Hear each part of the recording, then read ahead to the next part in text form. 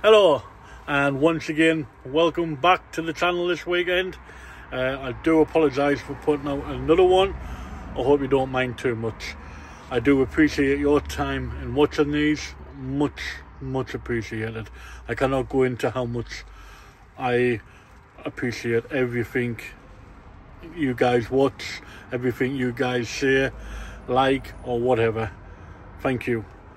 I'm just uh, over, overweight, old guy in his 50s doing this to find out if I can do this. And turns out I can and I can't. uh, I've had a couple of sales. I've had a Lilliput Farm sale. Uh, it's in the wrong box, unfortunately. This one says something Lodge, Farthing Lodge, and inside is the Blarney Castle. I would get it out, but it's a bit of a fun. Next up, we've oh we sold that for nine pound twenty five pence. I paid two quid for it, and I've had it since the beginning of the year, about March time. And then next up for six pound, uh, probably picked this up for a couple of quid if that. Not much profit on it. Um, I was just learning back then when I was picking up stuff, so I'm still learning today. I still don't know what game consoles actually sell really well until I get a hold of them, and then I look it up and I think mm, maybe it's not. But that's one way of learning. I know not to pick up stuff like that again. Um, I could have done comps in the store, but back then I was a bit nervous, bit shy to do stuff like that. Okay, next up, I'll show you a little photo. Hopefully I can add it into here. And it looks a bit like this if I can.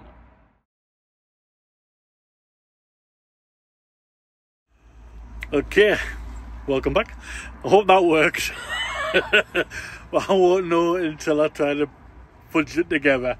Yes, fudge it. Um, I picked that up last December, 21st of December, I think. I bought that off of one of the charity shops on eBay. I paid twenty one ninety nine for it and the postage.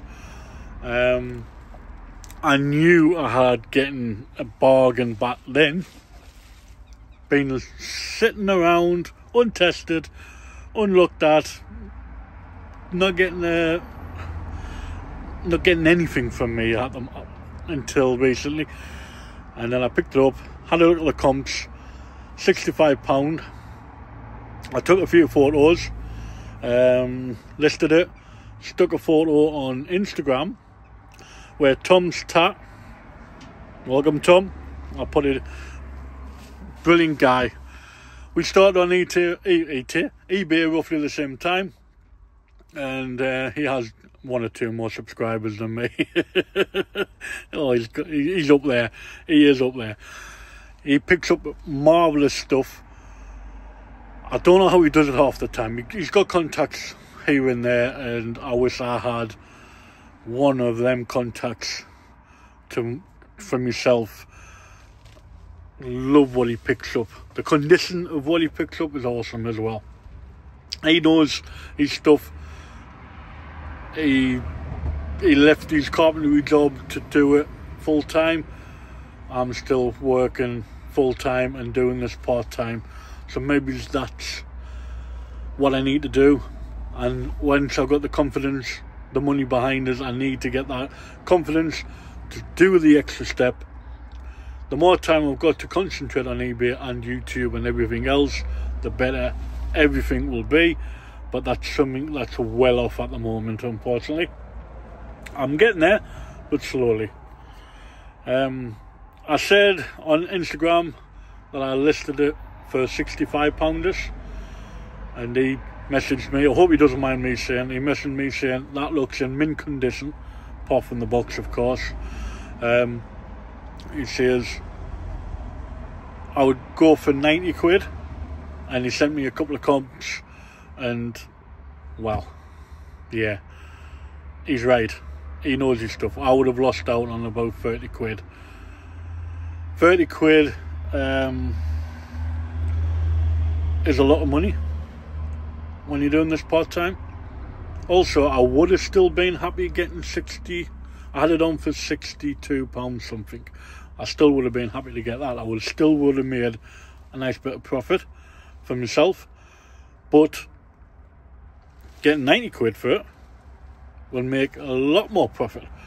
Which means I've got that little bit extra to go and get that little bit better quality stuff rather than going going around the old places and picking up stuff that sells but not in the best quality if you know what I mean.